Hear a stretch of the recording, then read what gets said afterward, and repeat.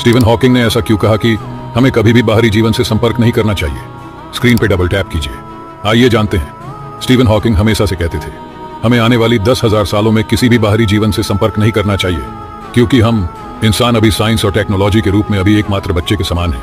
आपको लगता होगा कि हम इंसान साइंस और टेक्नोलॉजी में बहुत आगे हैं, क्योंकि हम स्पेस से दो चार बार घूम के आ गए, मगर मेरे दोस्त अभी भी हम इंसानों की इतनी औकात नहीं हुई कि हम एक दूसरे ग्रह पे जाकर बच सके। इसी कारण हम अंतरिक्ष से आई किसी भी सिग्नल का जवाब नहीं देते। अगर हमने सिग्नल भेज भी दिया और कहीं किस गलत सभ्यता के हाथों में सिग्नल लगा दो, वो हमसे एक ही बात बोलेंगे।